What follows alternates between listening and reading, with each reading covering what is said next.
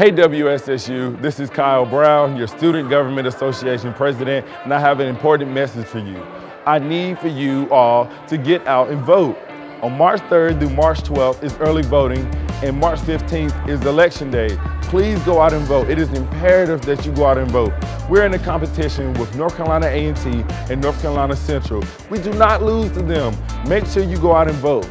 After you get done voting, make sure you hashtag Rams Vote with a picture of a selfie of your I voted sticker. You'll be entered into a drawing so you can win a prize. Remember, we don't lose to Aggies or Eagles. Make sure you go out and vote and hashtag Rams Vote because that's what we do.